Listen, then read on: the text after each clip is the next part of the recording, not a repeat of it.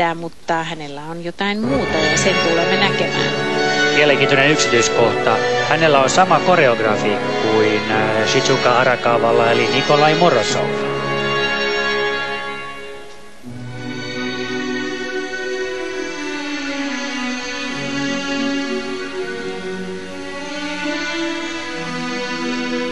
Ja siinä tuo Lutz, pieni notku alastulokaarella, mutta hyvästä vauhdista.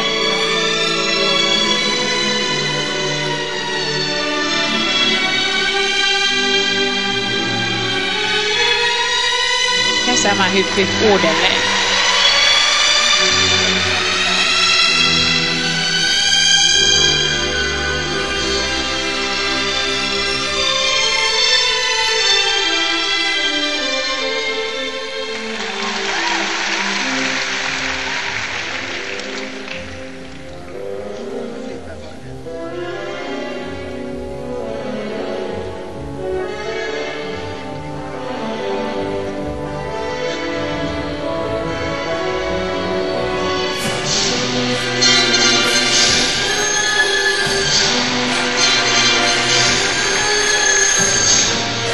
Sasha Cohen tarvitsee täydellisen suorituksen, jotta hän voi kärkipaikkansa pitää.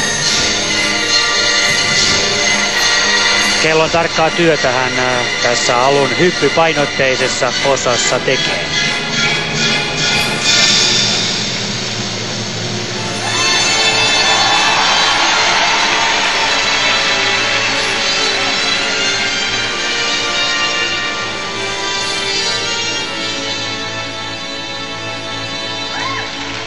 Soolokolmoishypyt sujuvat hyvin. Tässä salko yhdistetään kaksoistulppiin.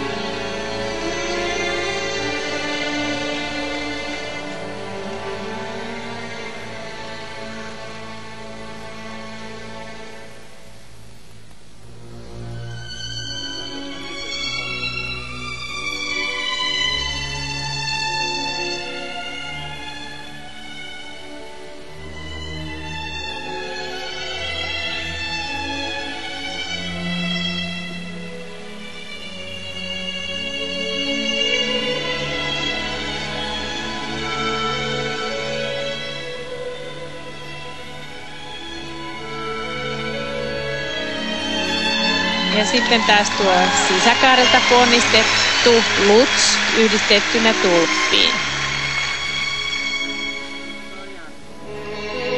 Ai ai, siinä menee mestaruus sanoisin.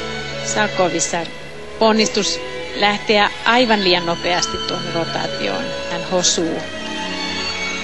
Mutta kuvan kaunis taivutus